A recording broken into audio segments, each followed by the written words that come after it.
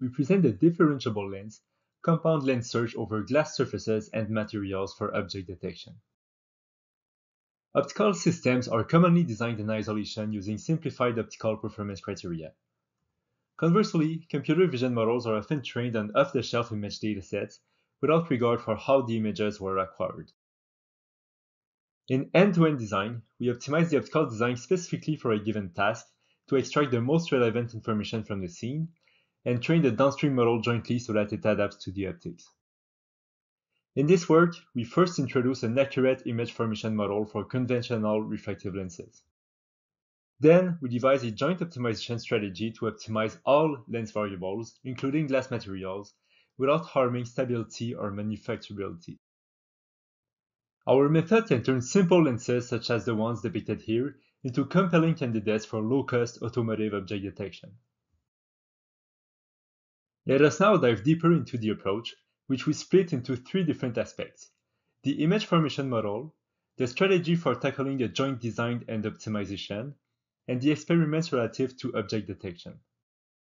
We begin with the image formation model. In joint design tasks, there are three main approaches for image simulation models. Many works on joint design model the optics with a single diffractive optical element, which makes it suitable for simulation using a wave optics approach. This method, however, is inadequate for compound refractive optics.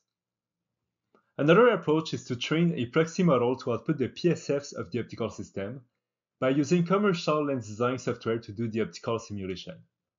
That, however, comes with a cumbersome training and validation step that cannot handle the whole design space and needs to be repeated for every lens configuration. In this work, we favor an exact ray tracing approach where we directly implement ray tracing equations based on Snell's law. Our lens simulation model allows us to simulate the capture of a virtual scene based on the actual lens parameters.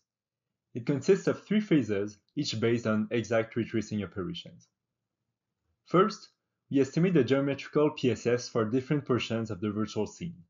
To do so, we initialize rays at the entrance pupil of the lens system propagate them using Snell's law up to the image plane, then integrate them using kernel density estimation.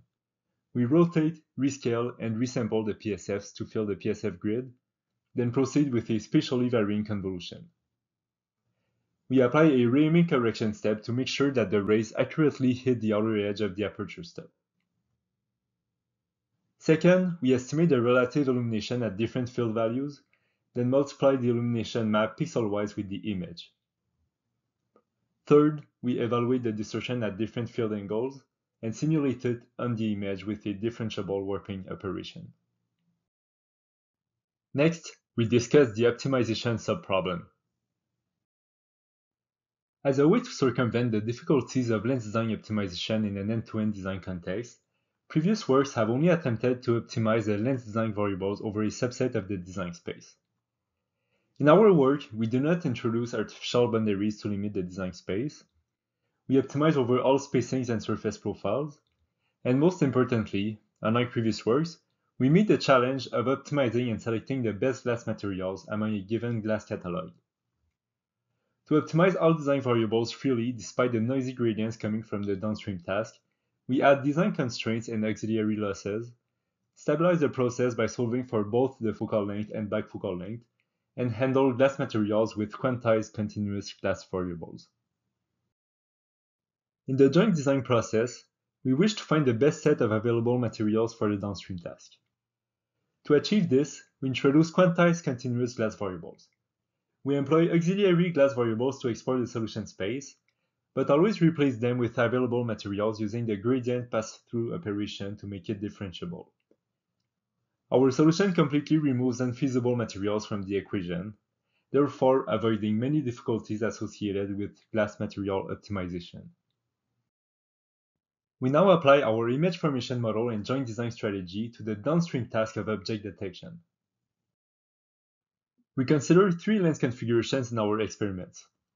A standard refractive doublet made of two elements, a Cooke triplet made of three elements that is generally suitable for moderate aperture and field of view imaging, and a Tessar lens that is similar to a Cooke triplet with one additional lens element.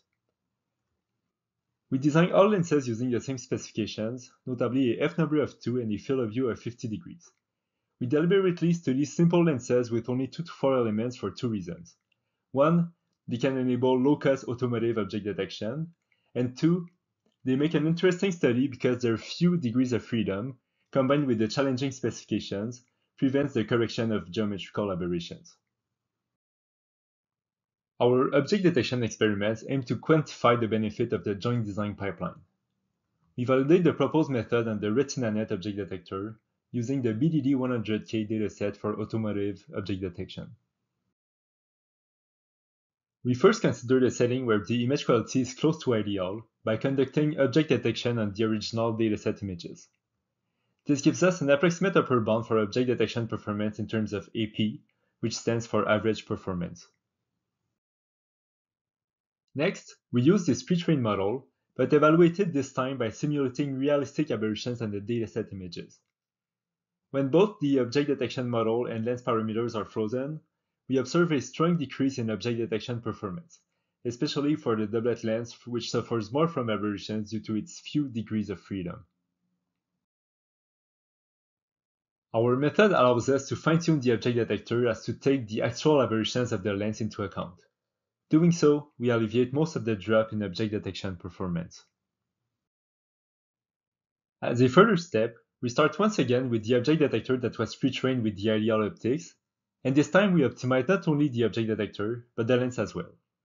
Using our joint lens optimization strategy, the lenses remain in a manufacturable state during most or all of the optimization process, despite all lens variables allowed to move freely. At the end of the optimization process, the average spot size of each lens is similar or worse than at the beginning, but the object detection performance is increased. Using the lens and object detector that were trained jointly on the BDD100K dataset, we validate that the improvements on object detection performance carry over to other datasets such as Udacity without retraining. We generally observe larger improvements in detection performance when artificially increasing the image resolution by a factor of 2 to simulate a higher resolution sensor.